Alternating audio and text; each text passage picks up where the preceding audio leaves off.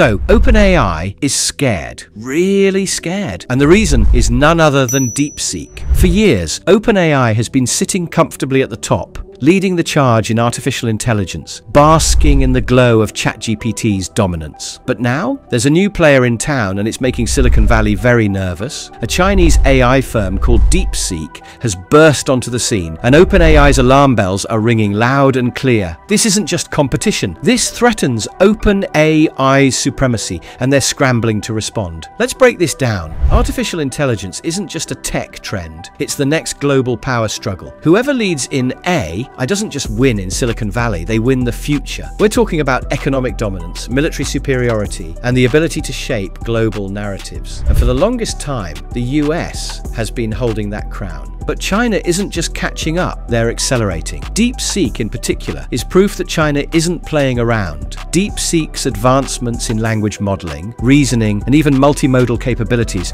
suggest that China is producing AI that can go toe to toe with OpenAI's best offerings. Their models aren't just powerful, they're efficient, scalable, and designed to challenge the Western monopoly on AI research. And that's exactly why OpenAI is worried. For years, they've been seen as the undisputed leader, setting the gold standard for AI. But now, DeepSeek has emerged as a serious contender, capable of pushing boundaries just as aggressively. And what does OpenAI do when faced with a serious challenger? They panic. Sam Altman, the CEO of OpenAI, is basically waving a giant red flag in front of the US government.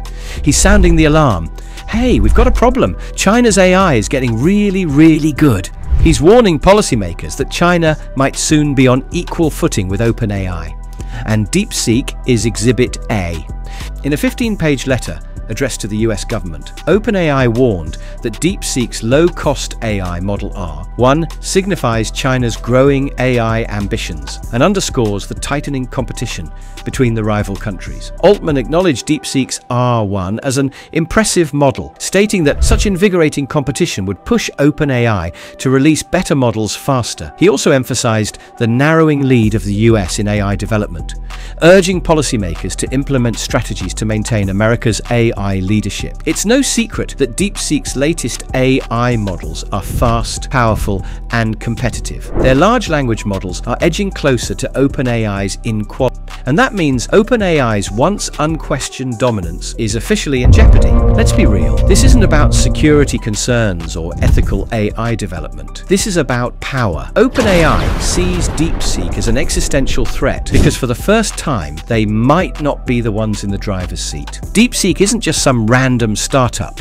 This is a company backed by serious funding, serious research, and serious ambitions. And the worst part, for OpenAI, DeepSeek's models are improving fast. We've seen this pattern before. Just look at how China overtook the US in 5G technology. While US firms were still figuring out how to scale their infrastructure, Huawei and ZTE were rolling out next-gen 5G networks across Asia, Europe and Africa. They didn't just build fast, they built cheap and well. By 2020, China had more 5G base stations than the rest of the world combined, and their networks were powering everything from smart cities to autonomous vehicles. The US scrambled to catch up, issuing bans, sanctions and trade restrictions to slow Huawei down, but the damage was already done. China had established itself as the world's 5G powerhouse, and the rest of the world took notice. Remember when Chinese EVs were considered low-quality knockoffs of Tesla? Fast forward to today, and Chinese companies like BYD, NIO, and XPeng are not just matching Western innovation, they're setting the pace. BYD, in fact,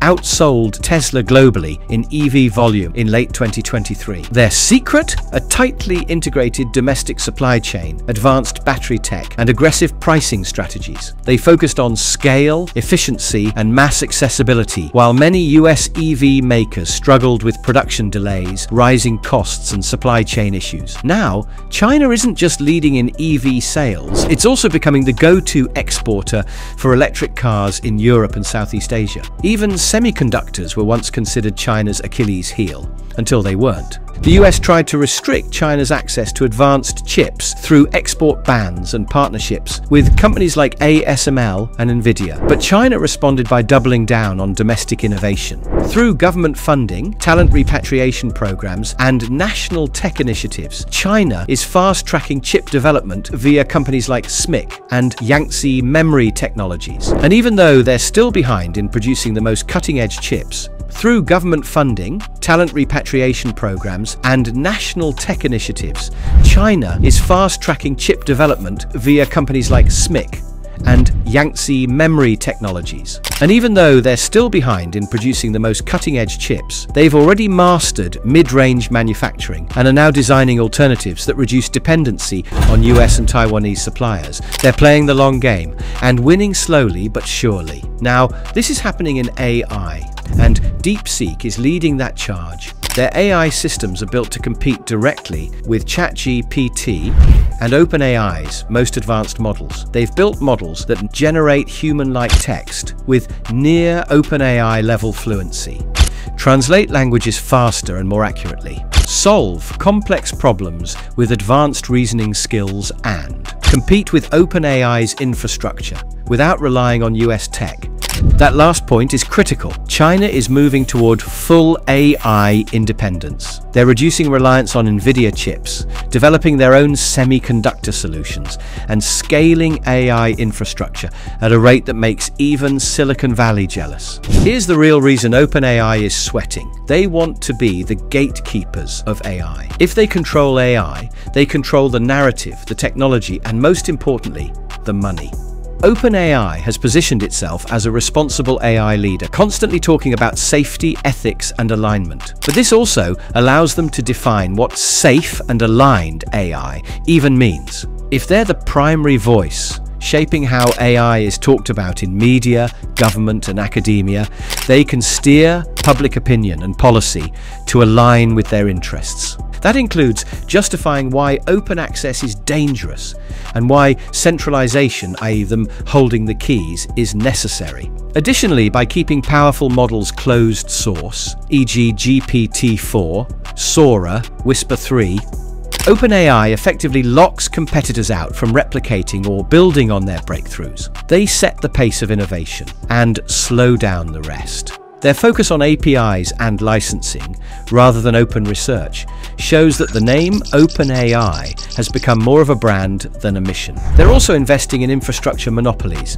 custom chips, proprietary training data, and exclusive partnerships with Microsoft. If you want access to cutting-edge models, you'll increasingly have to go through OpenAI or its affiliates. Let's not pretend this is purely altruistic. Whoever controls the most capable AI models controls the future future of hundreds of industries, from finance and law to entertainment, education and defense. It's not just about building AI tools, it's about becoming the platform layer for intelligence. This is the holy grail, owning the rails that every other tech company has to run on.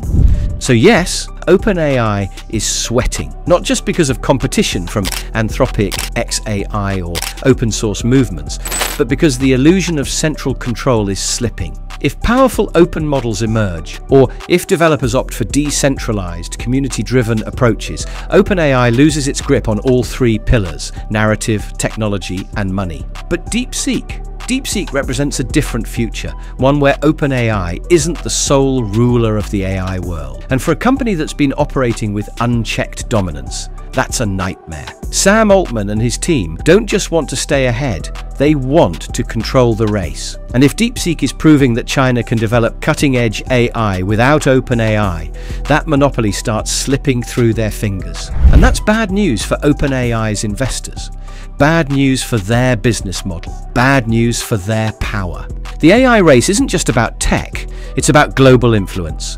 If China wins, that means the future of AI governance, ethics, and decision making could shift eastward.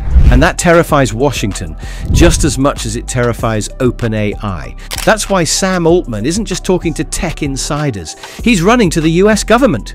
He's essentially saying we need to slow China down. We need restrictions, regulations, anything to keep OpenAI ahead. But here's the twist DeepSeek isn't breaking any rules, they're just competing and they're doing it well. The question is, should OpenAI be focused on building better AI, or are they more interested in keeping others from catching up?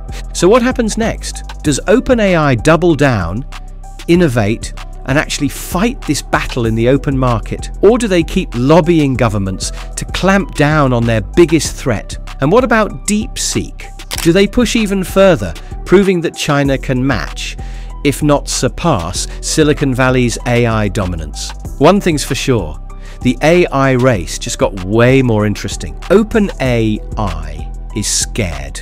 DeepSeek is rising. And the world is watching to see who comes out on top. So fasten your seatbelts. This battle is just getting started.